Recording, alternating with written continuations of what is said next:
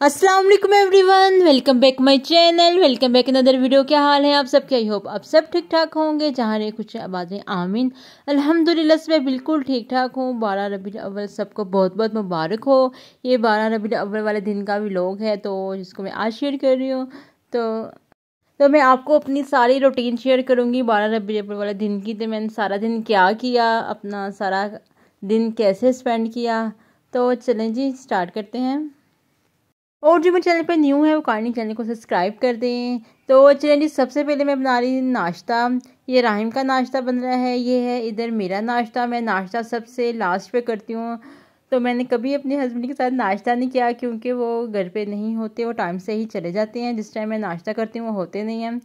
तो चलें जी तो वो नाश्ता करते हैं टाइम पे। मुझे टाइम पे भूख नहीं लगती। मुझे सारा घर का काम वगैरह करवाने के बाद सारा कुछ करके फिर फिर लास्ट में मैं तसल्ली से बैठ के चिल करके मैं अपना नाश्ता इंजॉय करती हूँ, इसके बाद फिर चाय पीती हूँ।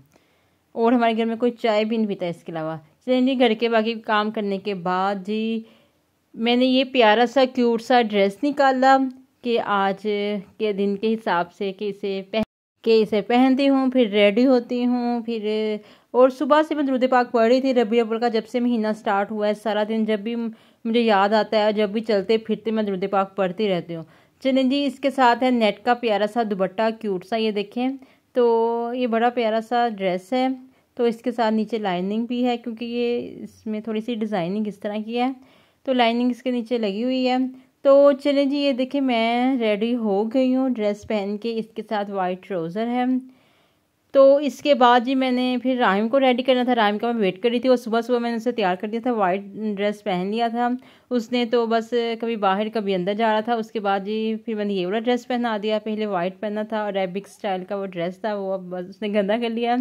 तो उसकी वीडियो नहीं बना सकी। तो उसके बाद ये ग्रीन वाला पहना दिया। तो बाकी काम करने के बाद मैं नमाज़ पढ़ी जोहर की। नमाज़ पढ़ने के बाद मैंने सुरह यासिन पढ़ी है। और जी इसके बाद द्रुद पाक पढ़ना स्टार्ट हो गई। द्रुद पाक पढ़ा। तो जी, द्रुद पाक पढ़ने के बाद दुआएँ मांगी हैं। अल्लाह ताला हम सब की दुआएँ पूरी करे। आमीन। और रबी अव्वल के महीने के सदके हम सब की जायज़ दिली तमन्ना पूरी फरमाए। आमीन।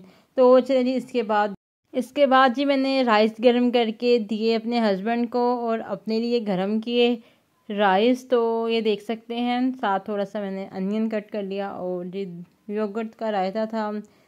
तो चाहे बिरयानी हो, चाहे पुलाव हो, मैं योगर्ट के बगैर नहीं खाती और सैलड के बगैर बिल्कुल नहीं खाती। आज बस ये सैलड मैंने बनाया थोड़ा सा।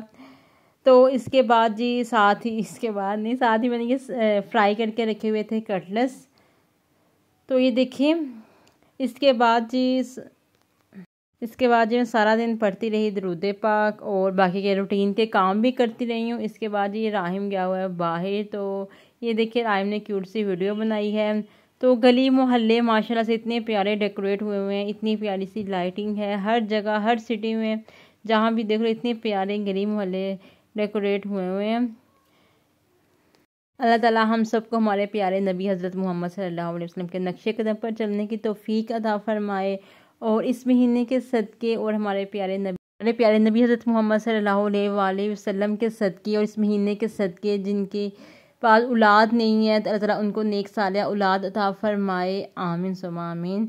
तो चलें जी, इसके बाद जी रात का डिनर। तो रात का डिनर था, ये भन पड़े हुए थे और ये पैटिस पड़ी हुई थी। मैंने क्या किया, ये देखें कैचअप और मेयोनीज़ को मिक्स किया और ये देखें, ऊपर पैटीज फ्राई करके रख दी हैं। ऊपर मैं थोड़ा सा अनियन रखूँगी और थोड़ा सा खीरा कट करके रखा। तो चलिए, ये डन हो गए हैं।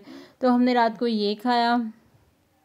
चलिए जी, ये था मेरा आज का छोटा सा व्लॉग आई होप आपको अच्छा लगा हो। अच्छा लगा हो तो लाइक कमेंट सब्सक्राइब कर दीजिएगा। मिलूँगी मिलूँगी नेक्स्ट वीडियो में। अल्लाह हाफिज़।